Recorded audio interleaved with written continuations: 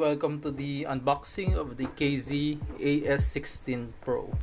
So we are presented with a unusual box from KZ. So this is not what we get from their usual uh, $20 to $30 range IEM. So it's more of a premium feeling box with KZ's logo uh, embossed in a gloss finish the front and the some specs and the information at the back in the same gloss printing.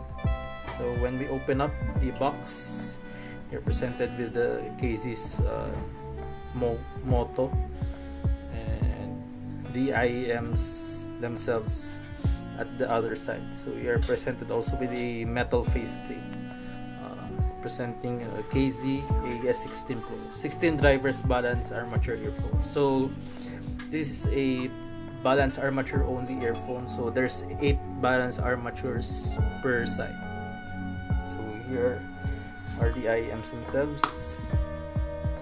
Let's take them out of the foam like protective case. And here are the IEMs themselves if you want to take a closer look at it.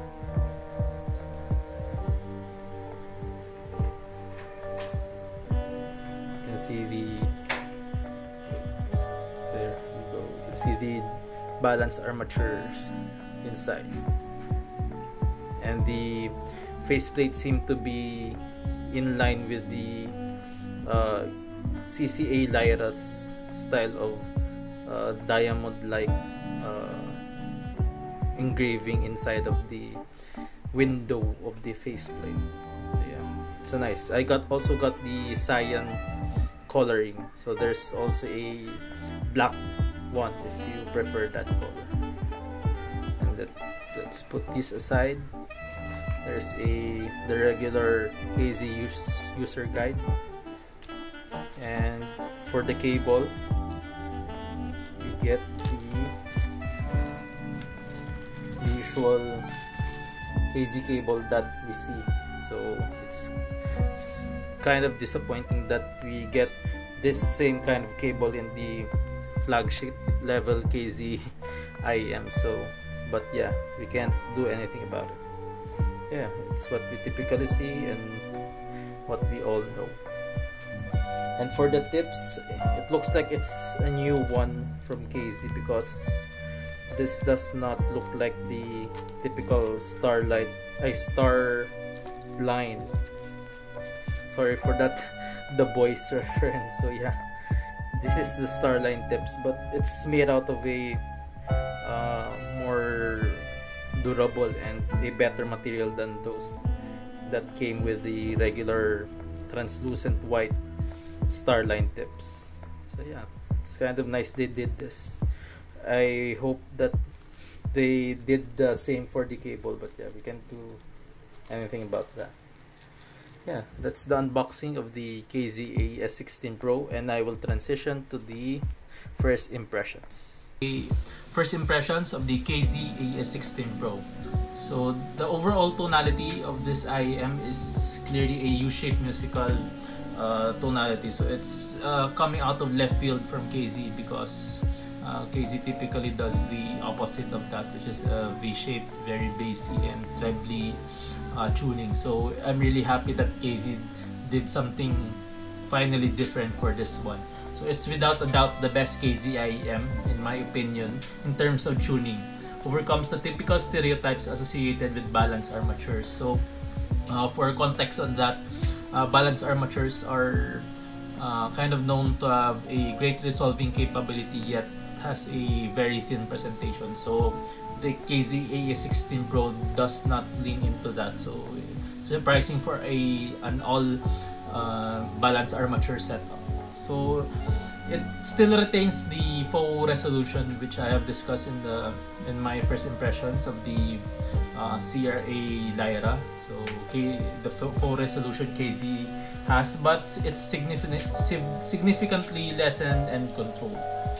So for the bass, it's a mid-bass focus IEM. It hits with absolute authority but it still like slightly lacks the mid to back it up. So due to the lack of headspace it has, so more on that later. bass hits more harder than what it intrinsically presents. So, so the aforementioned lack of headspace can also sometimes result in some bass bleeding into the mid-range, but not to an offensive extent. So, due to that uh, aspect, this IEM has a warmer presentation to it, which really helps with the uh, thick mid-range it produced. So for the mid-range, uh, it's the best mid-range tuning KZ has done. So it's uh, hands down for that. It's musical and meaty, so it quickly resolves the issue I had with the Lyra with its musical yet linear presentation. Instruments and voices are warmly rendered but has a slight inclination to female vo voices due, its, due to its steep transition into the upper mid-range.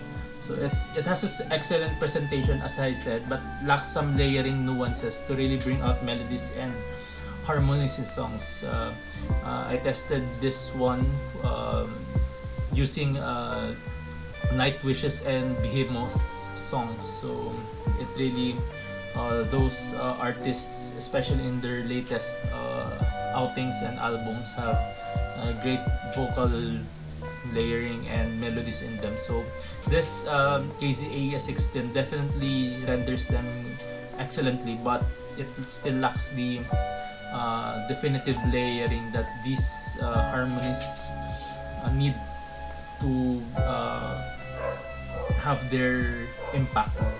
So this, uh, as I have said, the upper mid-range aggressiveness straddles between the line between a shouty and a non-shouty presentation but it never goes beyond it. So it's uh, quietly treading the line between a shouty and a non-shouty uh, presentation. So for the treble once again it's another best tuning KZ has done in terms of treble.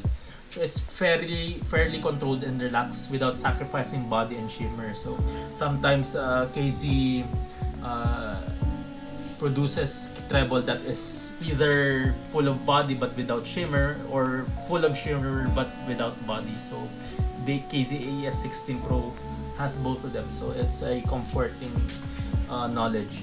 But it still has a tinge of the faux resolution I have been hearing from the KZ lineup.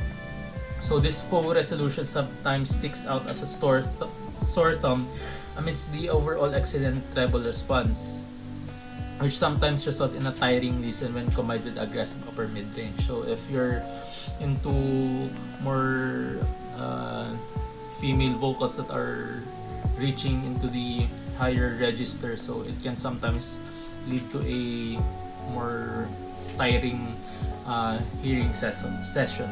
So uh, as I have said earlier, so the lack of extreme treble extension, which lacks, which results into a uh, lesser headspace for instruments to and the bass hits to have some space to breathe in. So for the sound station imaging, so it's average in both departments.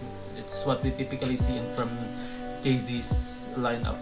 So it has a good width but lack height and instrument distance. So it's slightly understandable due to its uh, all balance armature setup. So that's also a feature of balance armatures. They uh, usually present a more intimate uh, output uh, when compared to dynamic drivers due to their airless presentation. So, uh, but the treble extension, as I've said in the treble frequencies, would have helped a lot in terms of soundstage and imaging. So that's all for my first impressions of the KZ-AS16 Pro. So stay tuned for the full review. So goodbye guys and Goji out.